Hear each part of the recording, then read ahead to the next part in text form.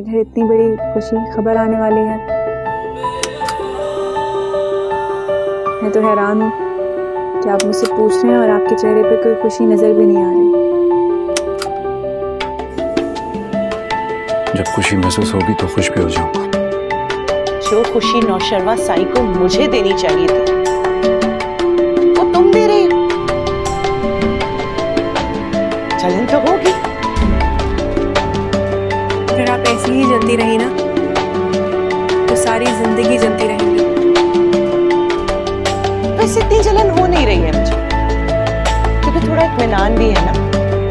पूछोगी नहीं क्यों? शर्मा साई।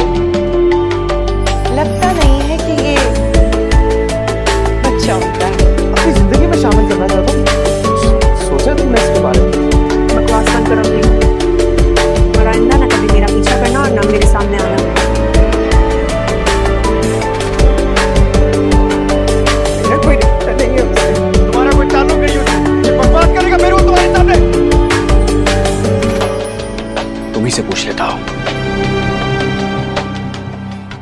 इस बच्चे का बाप कौन है?